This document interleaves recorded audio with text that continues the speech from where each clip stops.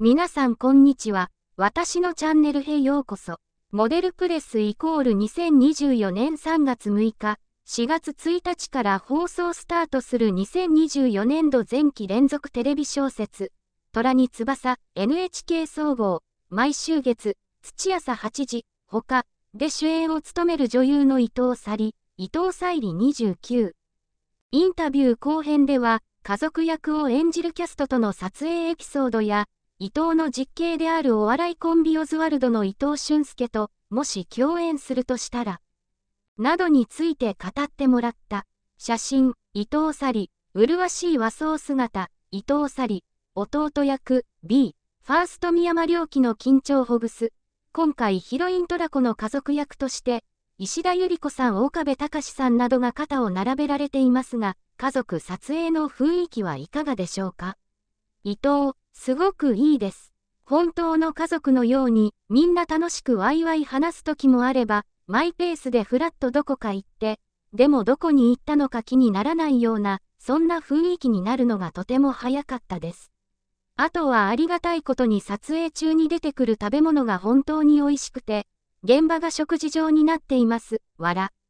なので、ご飯のシーンがあるとみんなご飯を抜くか、そこで食事をしますという風になって、撮影が終わっても誰一人動かないんです。わら。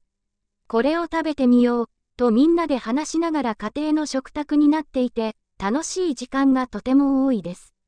トラコの弟、猪爪直明役を演じる B、ファーストの宮山良樹、良樹さんは、出演発表時に朝ドラ初出演への不安もある、というお話もされていましたが、伊藤さんが座長として声をかけたことは、伊藤、りょうきくんは5歳年下なのですが、本当にピュアですごく可愛いです。撮影はまだ3日ぐらいしかしてないですが、取材は2月下旬。私は昔から先輩ぶることに抵抗があり、緊張しているの。と声をかけられないので、監督から声をかけていただけるようにしました。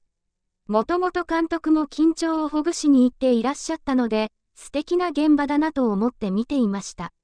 頑張れ。と思いつつも、普通の話をしていた方が緊張もほぐれるかなと思い、この前ライブツアーで北海道に行っていたようなので、北海道のどこで何したの？とか作品には全然関係のない話をしていました。わら。まっすぐでとても気持ちのいい子だったので、一緒にいて楽しいです。三山さんの緊張がほぐれるようアプローチをされたのですね。伊藤、良樹くんが現場になれるのは、すごく早かったですよ。突然、監督が現場に来て、あいうえを。かきくけこ、と大きな声でやり始めて、りょうきくんもそれに乗っかり謎に、あいうえを。がスタジオで響き渡る時間があって、わら。そのあたりからりょうきくんの手の震えが収まり、今ではみんなとワイワイ喋っています。弟は家族で一人だけ小さい頃、子役から始まるので、途中から入ってくることに抵抗があったのだと思いますが、今では堂々と素敵にいらっしゃいます。物語ではトラコの大学生活も書かれますが、家族シーンと大学シーンの撮影で演じる際に、お気持ちの違いがあれば教えてください。伊藤、本当に、家、と、学校、という感覚です。楽しさの感覚が少し違いくて、家族も仲良しですが、女子部はキャピキャピしています、わら。例えば、桜井由紀さんが寒がりで防寒性の高い靴下をみんなに配ってくれてワイワイしたり、平上岩さんは女子部の中でも一番年上なのでこの空気はうるさいかなと思いましたが一緒に喋ってくださったり、ハヨンスさんは韓国語で何と言うかわからない日本語を教えたり、年齢や国籍など関係なくとにかく賑やかです。驚愕になったらまた違う空気になるのもリアルで、その空気感を楽しんでいます。伊藤沙莉、中野大河との再共演に歓喜、大好きな先輩。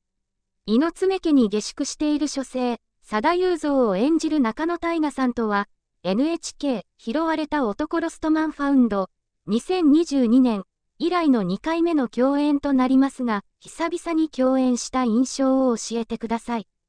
伊藤、以前ご一緒した時もですが本当に頼りになる方で、お芝居を間近で見るともらうものが非常に多いです。今回もタイガさんとじゃなければ二人の空気感が出せなかったと思いますし、お芝居においてもタイガさんが絡んでいる演出について相談すると、ほとんど解決してくれるので心強さがとてもあります。大好きな先輩なので、またご一緒できて本当に良かったと毎日思います。お二人のシーンでは、台本にはないアドリブもあったのでしょうか？伊藤、私が倒れるという演出を受けたら、タイガさんも倒れてくれるとか、そういう展開をいつもやってくださいます。自由に動いても大丈夫、という空気感がある方なので、お互いやりたいことをやって、それに向かってくるという時間が楽しかったです。伊藤沙莉、兄、オズワルド伊藤と共演するなら、これまで大河ドラマや朝ドラにはお笑いタレントの方が多く出演されています。伊藤さんのお兄さんオズワルド伊藤さんも演技力がありますが、もし共演されるとしたらどうしますか？